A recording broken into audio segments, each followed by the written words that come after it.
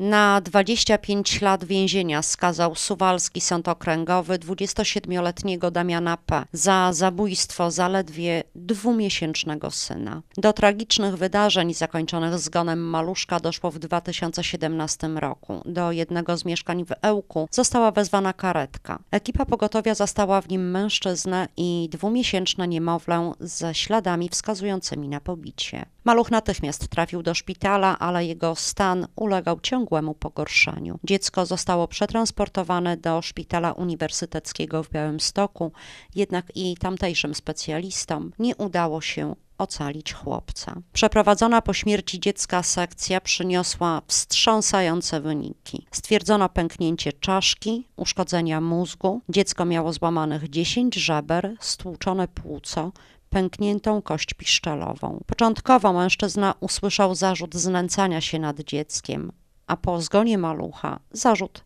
zabójstwa. Podczas śledztwa i w czasie procesu prowadzonego z wyłączeniem jawności Damian P. nie przyznał się do winy. Sąd jednak nie miał wątpliwości. Wyrok 25-letniego pozbawienia wolności jest nieprawomocny.